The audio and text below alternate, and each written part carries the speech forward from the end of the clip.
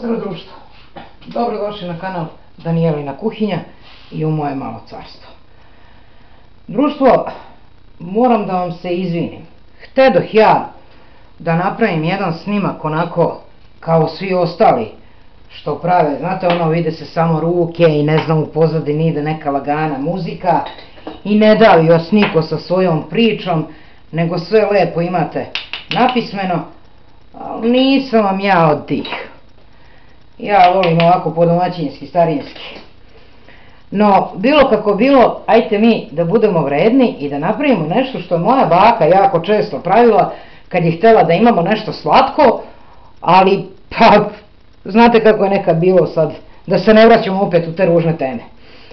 E, uzet ćemo brašno, klasično dizano testo, znači brašno, skvasat, šećer, malo soli. Ja sam ovdje stavila, evo vidite, mislim da kamera može da uhvati, koru jedne izrendane pomoranđe. Da ću vam pokažem kolika je to pomoranđa, jako mala. A pogledajte, vidi se u kadru. I iscedite sok, treba će vam kasnije. Dakle, ovo je klasično dizano testo. Ovo je sok iz pomoranđe što kažem da će nam trebati kasnije.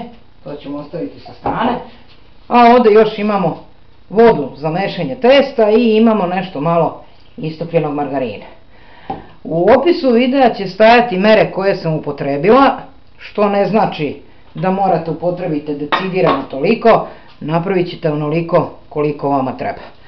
Dakle, umesit ćemo najobičnije dizano testo koje je meko, ali nigde se ne lepi, ostavit ćemo ga da se odmori, ako imate vremena možda ne bi bilo zgoreg premesiti ga bar jednom i sačekati ponovo da naraste. Ako nemate vremena, a bože moj, radite direktno. Dakle, sad mesimo testo, ono ostaje da, ostaje da raste, ja imam vremena, premesit ću ga i kad stasa drugi put, vraćam se na sam rad. E, društvo, ovako ćemo. Testo je stasalo jedan put, ja sam ga premesila, tek kad je stasalo drugi put, podelila sam ga ovako na devet jednakih loptica, mislim da kamera može da uhvati, imam jednu neznatno veću lopticu od ostalih. Dakle, sve je ukupno deset. Pripremila sam ovako jedan pleh, dole sam stavila pek papir, okolo sam premazala uljem. I što ćemo da radimo? Spremite, e, da se razumemo jednom, radim, radi se o posnoj stvari. Dakle, nema mleka, nema jaja. Ovaj, imamo postan margarin.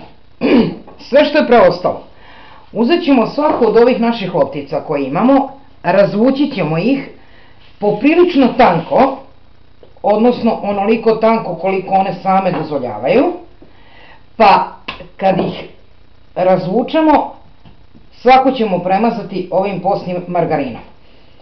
Ja ću se potruditi da je razvučem što je moguće tanje, vidite da ovdje dole imam ovaj krug, naravno da nije neophodan, kažem, kako budem koju razvukla, tako ću svaku da promazujem margarinom. Treba nam veličina koja odgovara samom plehu, jel? Tako da će to biti poprilično tanko i nemojte da vas buni ako vam pukne ili tako nešto, ništa strašno. Jel vidite koliko je tanka? Zaista, bezno ono što se kaže kosmice, gavala se vidi kroz. Evo Možemo to rukama ovako da doteramo, nikakav to problem nije. Evo samo što nije pukla. A ona veća, jedna neznatno veća loptica koju imamo, nju ćemo ostavimo za kraj, pa ćemo naprosto u nju da upakujemo sve ostale.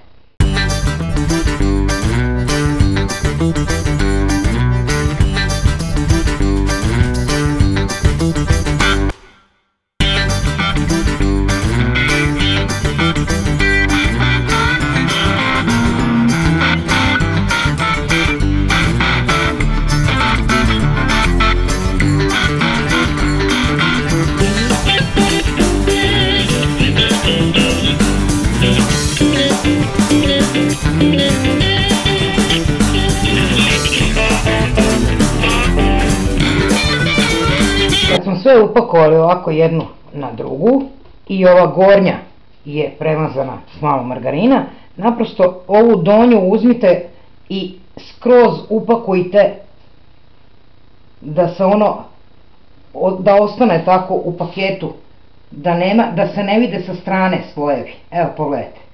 Vrlo lako, prosto i jednostavno, nema nikakve nauke.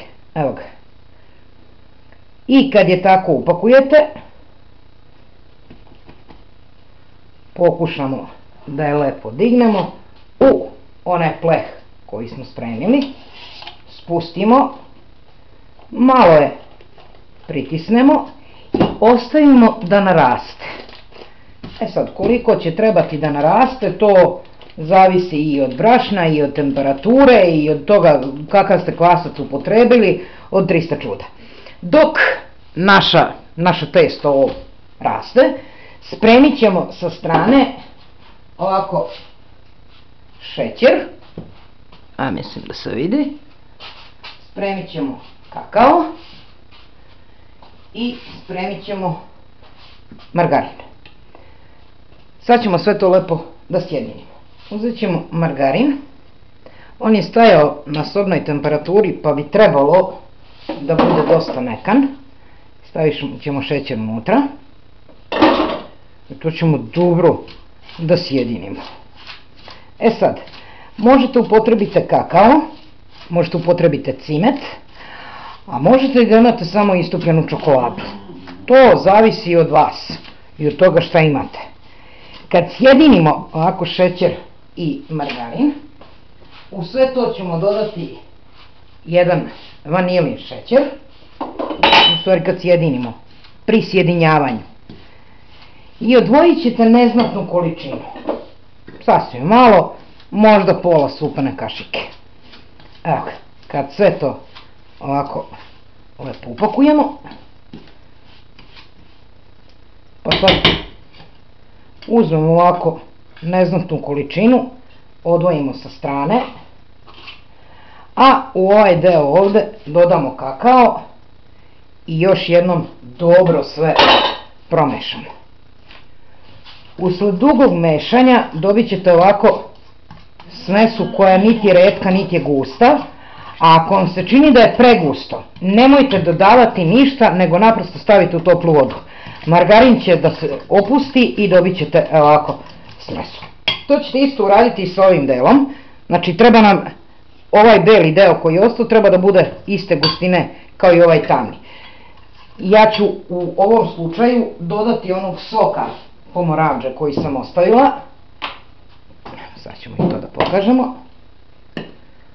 Dakle, ovde ima neznatna količina soka od pomoranđe i sve ćemo to dobro da sjedinimo, da dobijemo bezmalo tečnu masu.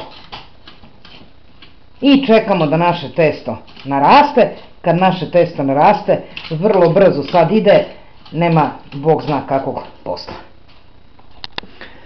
E, društvo, evo ga. Dakle, svetli deo koji smo ostavili, evo ga ovde, držao sam ga u toploj vodi da može ovako da se razvodnji i da bude skroz tako tečan.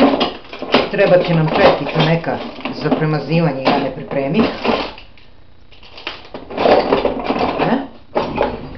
A tamni deo, evo ga ovde u špricu.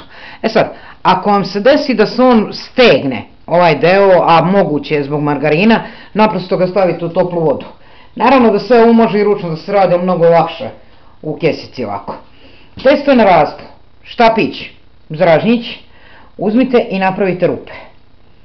I napravite tu rupu, nek ima, nek se vidi rupa ovako, da možete da uglavite ovaj špric. Može to i nožom nekim da se radi, tako ćemo i da uradimo nekim makazicama, nožom nekim, treba nam veća rupica. A. Evo ga. Pa kad napravimo ovako rupice, kažem, trebalo bi da budu dovoljne da može da stane sam špric unutra. Evo ga. I sad stavite špric u rupu i stresite malo ovog fila. Evo ga. Sad ono raste. Kako stavite unutra primetit ćete da se testo malo diže sa strane. Evo ga. upotrebite što više to bolje. Nekad preostane, zavisi od toga koliko ste rupica izbušili. Evo.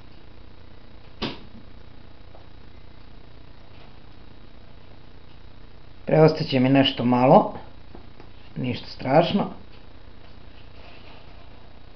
Evo ga. I imamo još jednu.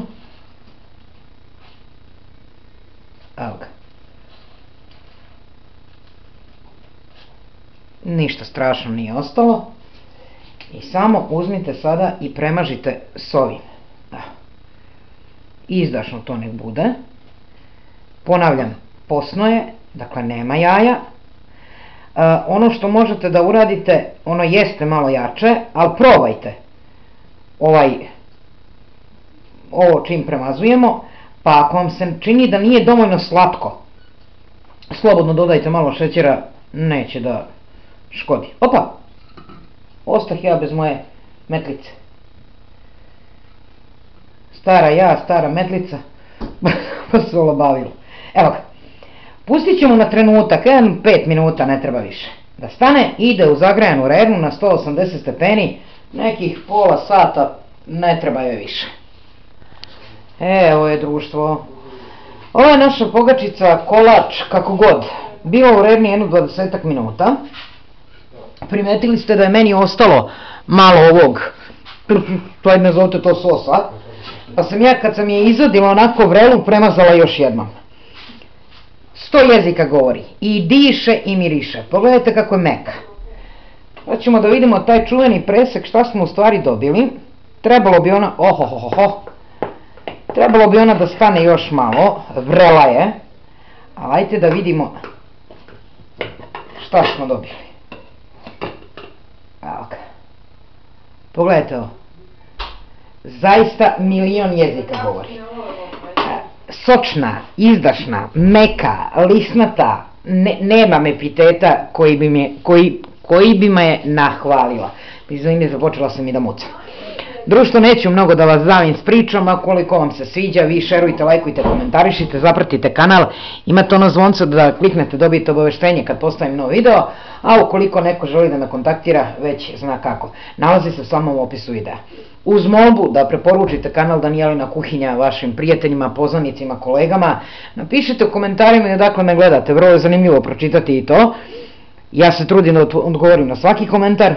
Uživajte u ovoj sočnoj kolač pogači i neko vam je prijatan ostatak dana.